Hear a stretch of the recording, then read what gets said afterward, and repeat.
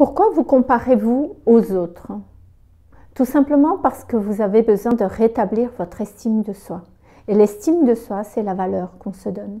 Alors moi, je vous propose deux étapes, justement, très simples à appliquer pour pouvoir rétablir cette estime de soi.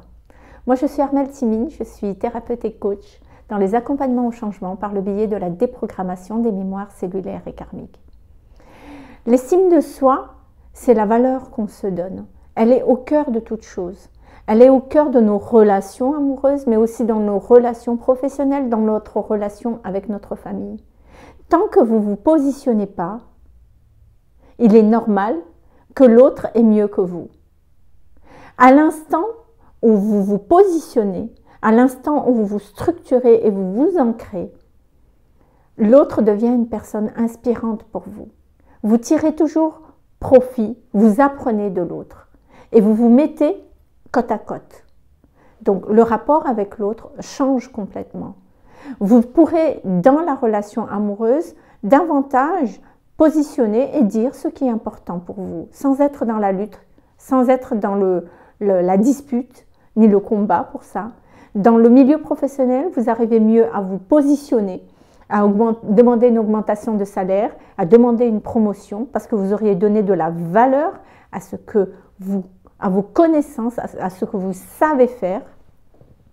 Et aussi dans votre relation familiale ou même amoureuse, on est dans de la valeur dans ce que je suis. Voilà. Donc à quel point, pour moi, l'estime de soi est vraiment indispensable. Comment faire? Deux étapes.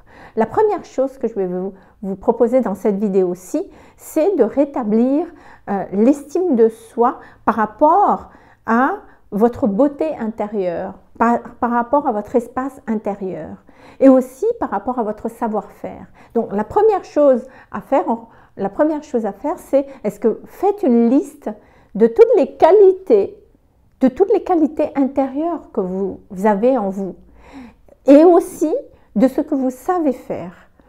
Si vous avez de la difficulté à énumérer, à savoir toutes ces beautés-là qu'il y a en vous, posez la question à votre entourage.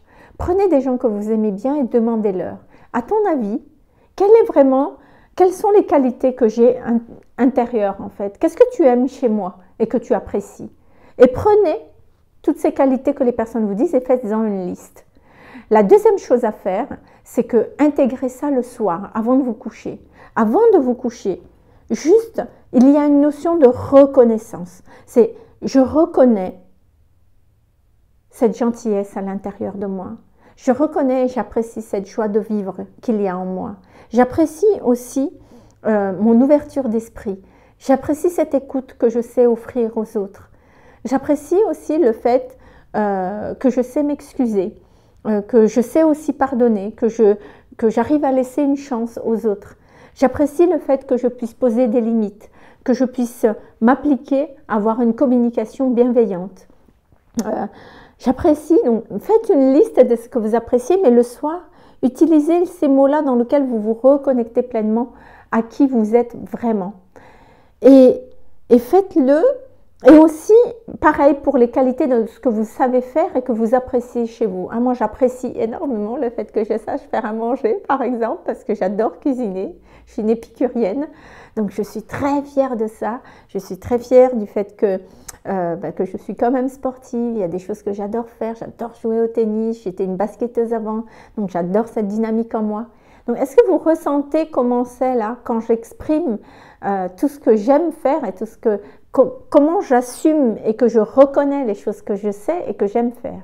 Donc faites-le le soir avant de vous coucher.